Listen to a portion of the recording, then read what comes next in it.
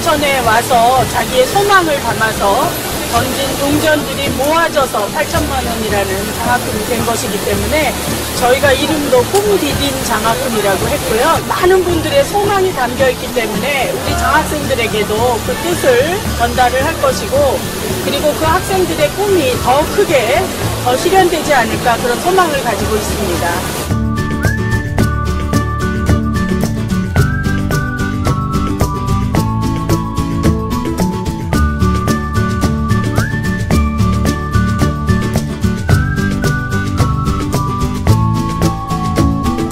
새로이 개관하는 장충체육관 새로운 개관을 정말 어, 축하드리면서요.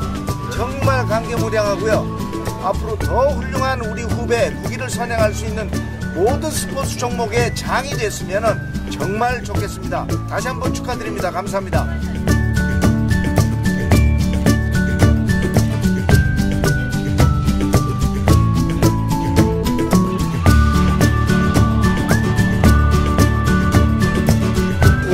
장쪽체육관 부활을 진심으로 축하드립니다. 정말 장쪽체육관 하면 어, 프로레슬링의 메카라고도 할 수 있습니다. 저 역시 2000년도에 WWA 세계 타이틀을 획득한 장소이고요. 참 추억이 많습니다. 국민 여러분의 그 꿈과 희망을 주는 장소가 되었으면 합니다. 다시 한번 장쪽체육관 부활을 축하드립니다. 와보니까 너무 좋고요. 너무 깨끗해요. 그리고 어제도 너무 편안한 것 같아요, 지금. 앉아보니까.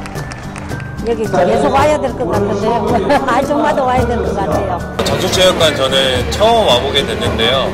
우선은 리모델링 했다고 들었는데 외관이 너무나 어떻게 보면 요즘 세대에 맞게 변경이 돼서 신숙한 느낌이 들고 많은 시민들의 관심을 새로 갖는 것 같아서 좀 새롭게 느껴지는 것 같습니다. 4년 전만 해도 뭐야 저 노래장도 전국 노래장도 오고 이 뭐야. 실험도 보러 오고 뭐 한, 지금 50년 다 됐는데 저도 나이가 많은데 참뭐 보기가 참 좋겠죠 사람이 편리하게